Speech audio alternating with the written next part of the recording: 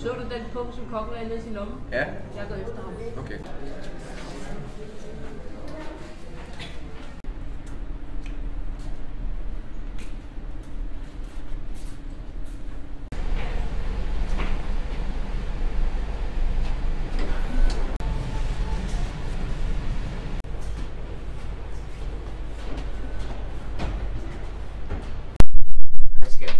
Går ikke, du kommer for sent hjem hver dag. Det er det, vi lever af.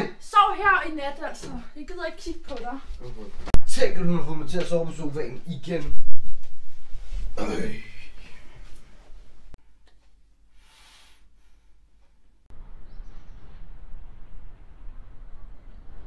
Jeg har stjålet en på. Okay, hvad skal vi gøre med den? Vi kan måske hæve nogle penge, og så købe fjernsyn eller sådan noget. Det er da også en god idé. Vi har også koderne til hans Facebook og sådan noget. Skal vi ikke også lave sjov med nogle af hans venner? Lad os gøre det! Ja. Jeg skriver lige noget lort til hans kæreste.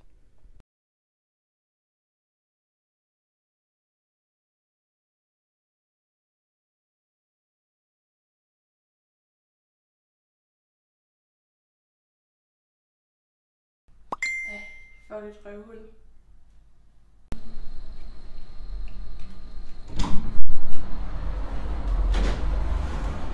Værsgo.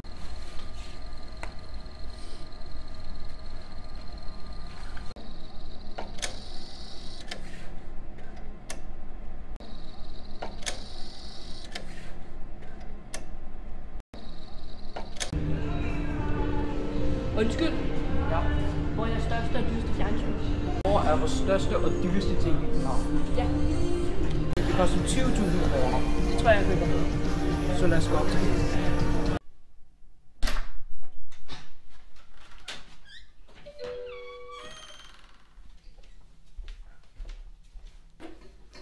Hej skat. Ej, det var jeg gider ikke. Hvad er der galt? Jeg have skrevet der til mig. Hvad har jeg skrevet? Det ved du jo godt. Det ved jeg ikke. Det er jo dig, der har skrevet det. Nej, hej, må jeg se? Se selv. Det har jeg ikke skrevet. Det har du jo. Det har jeg da ikke. Hvem er det så? Det ved jeg ikke. Gå ud. Hvorfor? Fordi, bare gå ud. Gå nu bare ud. Det er lidt sko med. Hvor reagerer du lidt? Luk mig nu ind!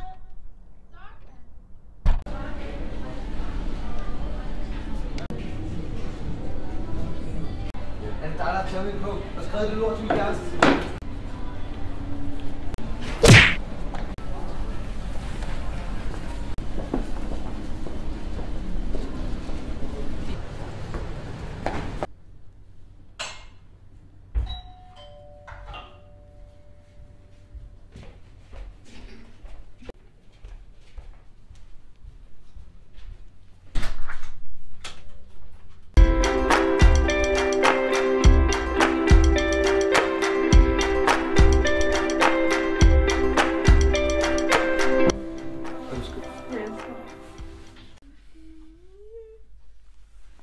Hallo, det er Arthur fra arbejde.